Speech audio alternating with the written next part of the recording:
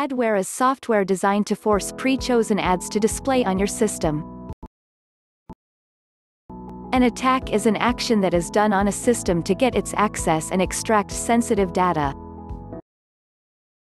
A backdoor, or trapdoor, is a hidden entry to a computing device or software that bypasses security measures, such as logins and password protections. A bot is a program that automates an action so that it can be done repeatedly at a much higher rate for a more sustained period than a human operator could do it. For example, sending HTTP, FTP or Telnet at a higher rate or calling script to create objects at a higher rate.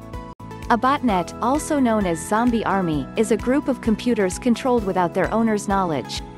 Botnets are used to send spam or make denial of service attacks. A brute force attack is an automated and the simplest kind of method to gain access to a system or website. It tries different combination of usernames and passwords, over and over again, until it gets in. Buffer overflow is a flaw that occurs when more data is written to a block of memory, or buffer, than the buffer is allocated to hold. Clone phishing is the modification of an existing, legitimate email with a false link to trick the recipient into providing personal information.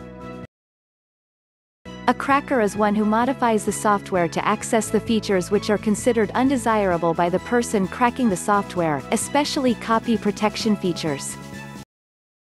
A denial of service DOS attack is a malicious attempt to make a server or a network resource unavailable to users, usually by temporarily interrupting or suspending the services of a host connected to the Internet.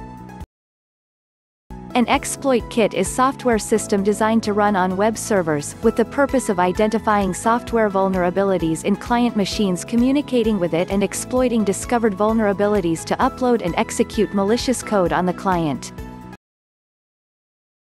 A firewall is a filter designed to keep unwanted intruders outside a computer system or network while allowing safe communication between systems and users on the inside of the firewall.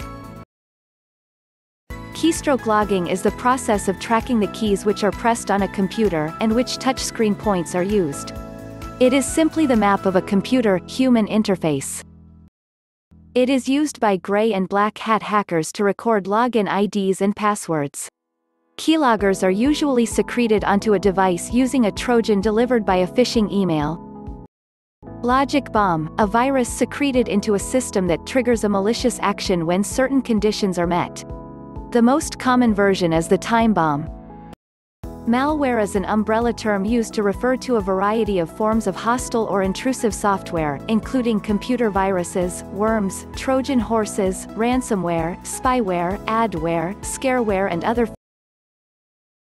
Phishing is an email fraud method in which the perpetrator sends out legitimate-looking emails, in an attempt to gather personal and financial information from recipients. Phreakers are considered the original computer hackers and they are those who break into the telephone network illegally, typically to make free long-distance phone calls or to tap phone lines.